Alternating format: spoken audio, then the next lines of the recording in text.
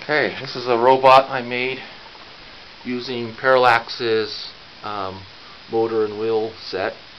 They're really nice, powerful motors and these really beautiful aluminum wheel um, hubs, and then they're pneumatic tires. Anyway, I just think they look really, look really great. And I also have um, one of their caster wheels and an Arlo power distribution board. Okay, and then uh, oh, and also the some what HB25 uh, motor controllers. And these motor controllers are a little bit different than many H bridges in that they behave, they act like um, a continuous rotation servo. So you send these motor controller servo pulses, and it will control the motor for you. And my job was to take the original Eddie code that used the Eddie board with the H bridges and converted over to use the propeller activity board with these um, HB25 motor controllers. So this is my attempt to earn the robot parts. And right now I'm going to hopefully do a figure eight. Turn on the power.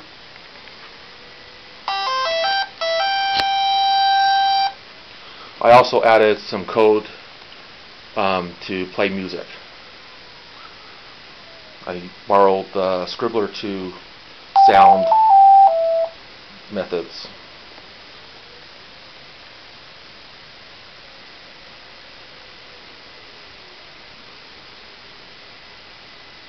So there's the figure 8. Now it's just going to spin in place using the turn command. It should be five times but there's no I in the PID algorithm so it doesn't quite compensate for all the error yet. I hope to add that.